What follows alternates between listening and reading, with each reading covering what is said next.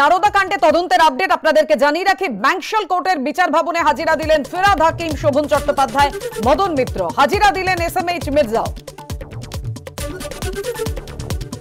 নারদা কাণ্ডে ব্যাংশাল কোর্টের বিচার ভবনে হাজিরা দেন Firhad Hakim, Sovan Chattopadhyay, Madan Mitra, S M H Mirza.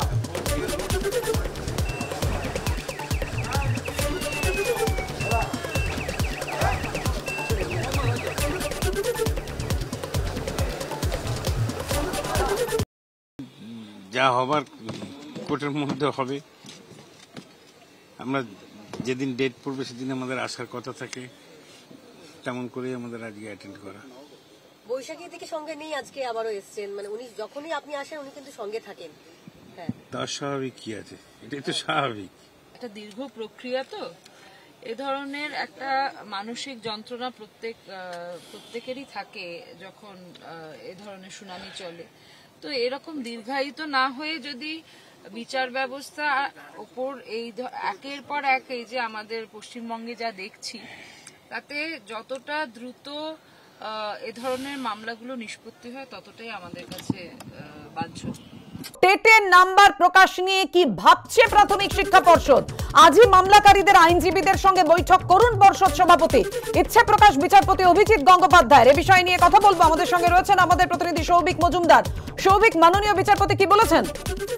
দেখো, বিচারপতি অভিজিৎ গঙ্গোপাধ্যায়ের বক্তব্য হচ্ছে যে টেট দু হাজার চোদ্দ এবং দু হাজার সতেরো প্রাথমিক শিক্ষক নিয়োগের এই যে দুটি পরীক্ষা বা দুটি টেট নেওয়া হয়েছিল, তার নম্বর প্রকাশের বিষয়ে প্রাথমিক শিক্ষা পর্ষদের চিন্তা ভাবনা কি? তাদের অবস্থান কি? এটাই কিন্তু বিচারপতি অভিজিৎ গঙ্গোপাধ্যায় জানতে চেয়েছেন।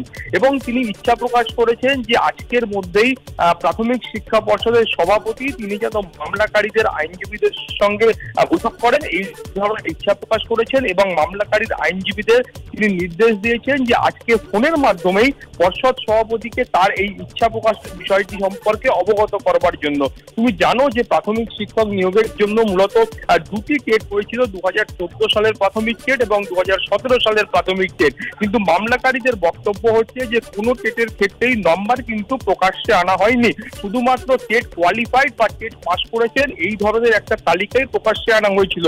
ফলত মামলাকারীদের এখানে বক্তব্য হচ্ছে যে এই যে দু হাজার বাইশ সালে আবারও নিয়োগ প্রক্রিয়া আরম্ভ হয়েছে, এই নিয়োগ প্রক্রিয়ার ক্ষেত্রে এই প্রার্থীরা যারা দু হাজার চোদ্দ এবং দু হাজার সতেরো দুটি টেটেই অংশগ্রহণ করেছেন এবং পাশ করেছেন, কোন টেটে তারা বেশি নম্বর পেয়েছেন সেটা তারা জানতে পারলে সেই নম্বরটাই তারা কিন্তু বর্তমান যে নিয়োগ প্রক্রিয়া, সেই নিয়োগ প্রক্রিয়ায় দাখিল করবেন। ফলত তারা অগ্রাধিকার পেতে পারেন, বাড়তি সুবিধা পেতে পারেন, এই ধরনের একটা এই ধরনের একটা একটা মতামত তারা কলকাতা হাইকোর্টের সামনে পেশ করেছেন এবং সেই আবেদন নিয়েই তারা কলকাতা হাইকোর্টের দ্বারস্থ হয়েছেন। ফলত প্রাথমিক শিক্ষা পর্ষদের সভাপতিকে এ বিষয়ে অবগত করলে আজকের মধ্যেই তিনি বৈঠক করেন কিনা সেই বিষয়টা এখন দেখার। তার পাশাপাশি প্রাথমিক টেটের দুটি দু হাজার চোদ্দ এবং দু হাজার সতেরো, তার নম্বর প্রকাশের বিষয়ে প্রাথমিক শিক্ষা পর্ষদ কি ভাবছে, সেদিকেও কিন্তু আমাদের সকলের নজর থাকবে। পাপিয়া। ধন্যবাদ সৌভিক